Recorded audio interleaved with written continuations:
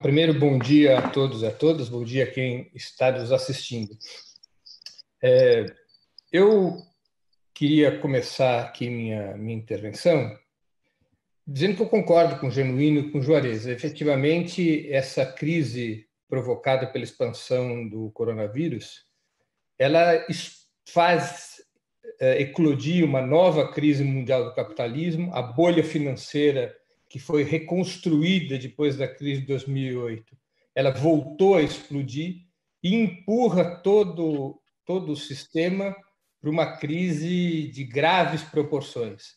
É, abala suas estruturas econômicas, coloca em xeque sua capacidade de garantir desenvolvimento sustentável, empurra para uma situação de crescimento abrupto da concentração de renda e riqueza. E, efetivamente, o que nós vamos assistir no próximo período é uma limpeza do capitalismo, no sentido de que nós vamos ver crescer as tendências de monopolização, de concentração da propriedade, com os grandes grupos financeiros é, adquirindo os grupos que ficaram mais fragilizados durante a crise. E nós estamos vendo, do ponto de vista da opinião pública internacional, um, um debilitamento, um descredenciamento do capitalismo como um sistema capaz de garantir desenvolvimento e prosperidade para a maioria das pessoas. Lembremos como era o cenário há 30 anos atrás, com o colapso da União Soviética. O capitalismo parecia um sistema invulnerável, um sistema que saía da crise do socialismo soviético como um projeto invicto e um projeto que era capaz de reconstruir hegemonia na ampla maioria dos países. Era tão forte essa força propulsora do capitalismo naquele momento que múltiplos setores de esquerda capitularam a ideia de que o capitalismo e a democracia liberal eram as estações finais da história, para lembrar a célebre frase do Francis Fukuyama. Trinta anos depois, essa crise do coronavírus descredencia a capacidade hegemônica do capitalismo e abre uma janela de oportunidade importante para as correntes socialistas, para as correntes anticapitalistas. Efetivamente, acho que o Genuíno tem absoluta razão em relação a isso. Agora, eu queria fazer algumas ponderações sobre isso.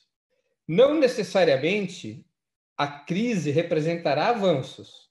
A crise representa apenas oportunidades.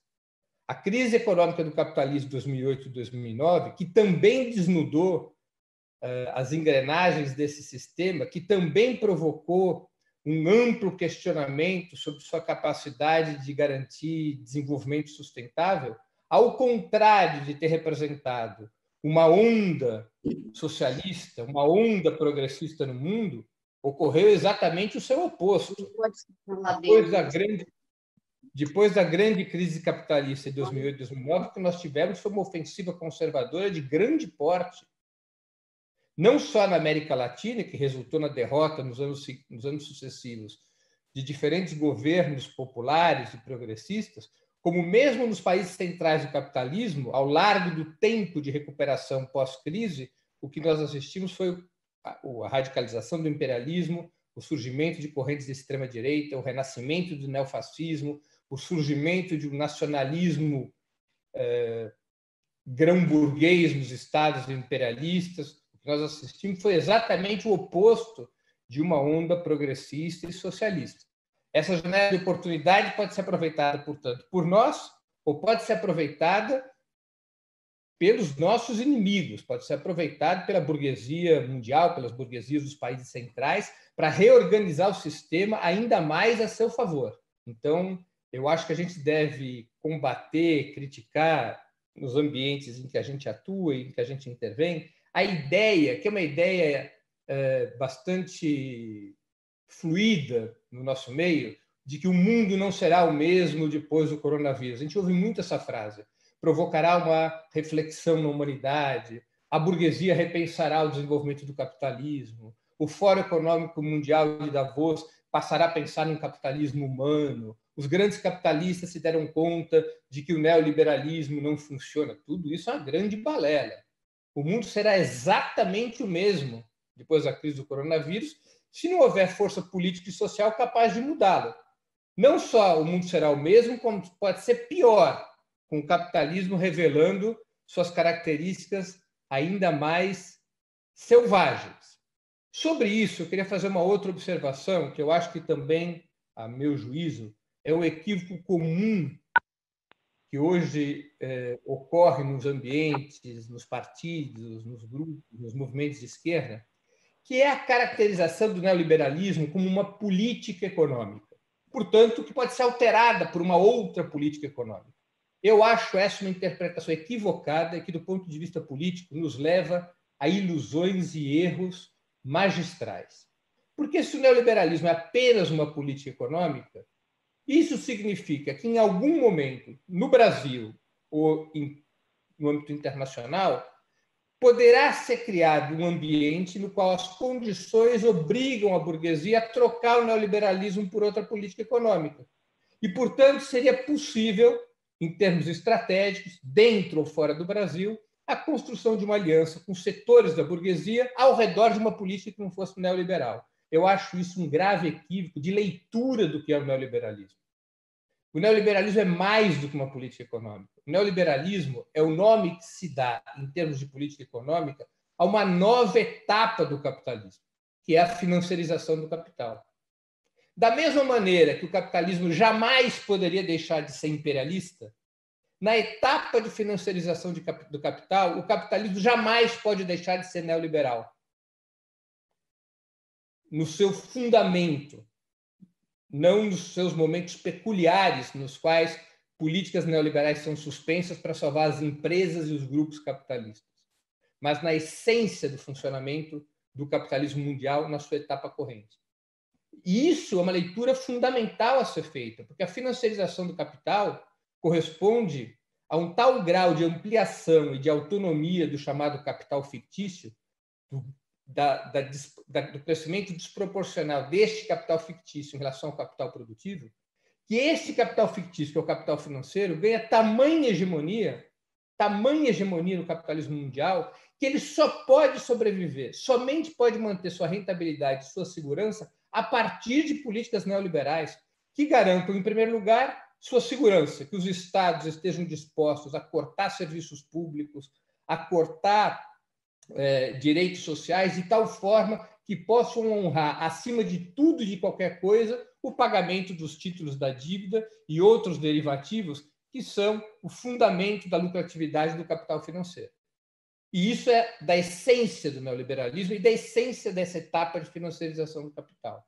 Segundo, é essencial a continuidade de políticas de privatização, mesmo quando ocorrem nacionalizações provisórias em tempo de crise porque esse capital financeiro ultraabundante precisa de novos negócios. Ele precisa da privatização para esse capital não ficar entesourado, se desvalorizando. Porque uma das formas fundamentais da acumulação de capital na etapa de financiarização é a aquisição de empresas e a venda dessas próprias empresas. Portanto, os mecanismos de privatização são fundamentais. Como também são fundamentais, como também é fundamental o acesso é, indiscriminados, sem fronteiras, sem limites, às riquezas naturais, que é também outra fonte da lucratividade do capital financeiro, o que impõe forçosamente modelos de tipo neocolonial na relação entre o centro do sistema capitalista e sua periferia. E assim por diante. Se nós compreendermos o neoliberalismo como a expressão econômica de uma etapa específica do capitalismo, a etapa da financiarização do capital, nós passaremos a compreender, ou poderemos compreender, de que não existe possibilidade estrutural da burguesia abandonar o neoliberalismo. E, portanto, apenas as correntes populares, socialistas, anticapitalistas, é que são capazes de fazer um enfrentamento ao neoliberalismo. E somente será possível superar o neocapitalismo se nós avançarmos, em termos nacionais e internacionais, na construção de uma alternativa anticapitalista. Concretamente, em termos de perspectiva histórica de médio e longo prazo, embora nós devamos acumular forças com programas antineoliberais, do ponto de vista do, do médio e longo prazo, não é possível imaginar a derrota do neoliberalismo sem a derrota do capitalismo sem a construção de uma nova perspectiva revolucionária em termos internacionais. É uma tarefa dificílima. Nós nos encontramos ainda num período de defensiva histórica. Os efeitos sobre a classe trabalhadora da grande derrota sofrida nos anos 80 com o fim da União Soviética. Esses efeitos continuam presentes. A esquerda mundial não conseguiu avançar de uma maneira importante na sua reorganização, embora tenhamos tido é, sucessos locais, avanços parciais, até mesmo nos países capitalistas desenvolvidos, a ascensão do Jeremy Corbyn à direção do Partido Trabalhista Inglês foi um, foi um, um processo importante, o surgimento de uma ala social-democrata no Partido Democrata dos Estados Unidos, uma ala, vamos ser assim, generosos, né? uma ala social-democrata de esquerda, com Bernie Sanders é outro fenômeno importante, ao menos do ponto de vista de massa, revela a possibilidade de deslocar um pedaço da, do eleitorado americano para uma perspectiva, ao menos discursiva, anticapitalista. Nós tivemos, é claro, as experiências na América Latina, muitas delas derrotadas exatamente é, ou provavelmente por conta de certas conexões estratégicas equivocadas, ilusões estratégicas que existiram. É? É, mas nós temos essa situação, ou seja, uma situação na qual nós ainda vivemos num período de defensiva histórica depois do fim da União Soviética. Como sair dessa defensiva? É um longo processo. A crise do coronavírus, aí eu volto à, à minha opinião inicial, que coincide com a do Genuína do Juarez, a crise provocada pelo coronavírus abre uma janela para acelerar a reorganização da esquerda brasileira e internacional.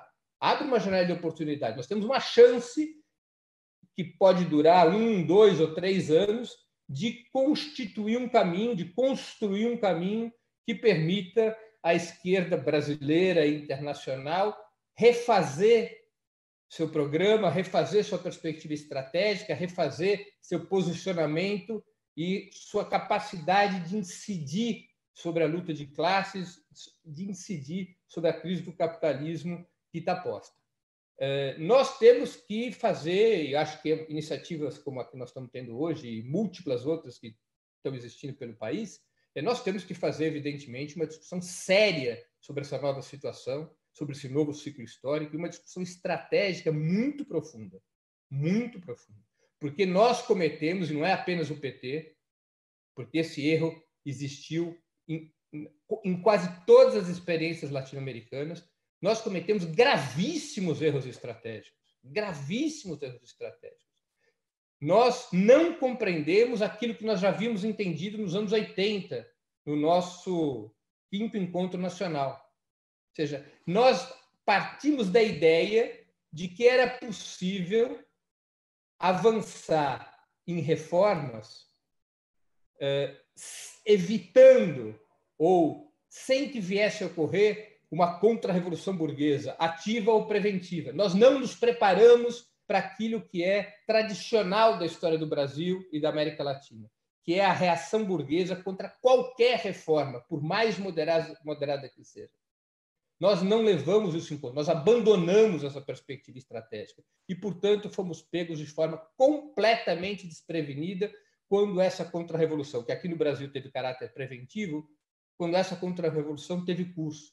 Nós não tínhamos preparado o povo para isso, nós não preparamos o partido para isso, nós não tivemos uma teoria sobre a questão militar para isso, nós não construímos relações internacionais para isso. Nós partimos de uma ideia, no fundo, de que se nós fôssemos capazes de gerar prosperidade econômica, a gente colocaria a burguesia sob nosso controle.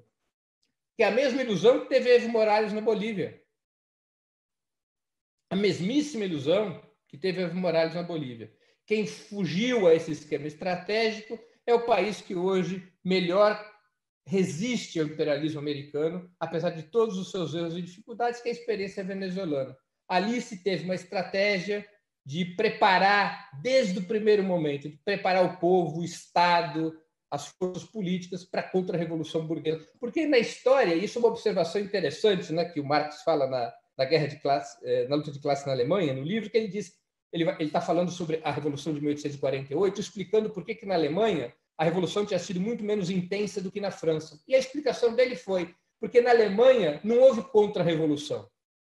A revolução avança como uma resposta à contra-revolução. Quando a burguesia tenta arrancar os direitos da classe trabalhadora, quando a burguesia tenta avançar sobre conquistas democráticas, é nesse momento que a revolução pode avançar, para derrotar a contra-revolução e nós não nos preparamos para isso. E acho que esse é outro elemento estratégico que tem que ser debatido, é, porque ele tem incidência sobre o nosso futuro político. É isso que eu queria opinar.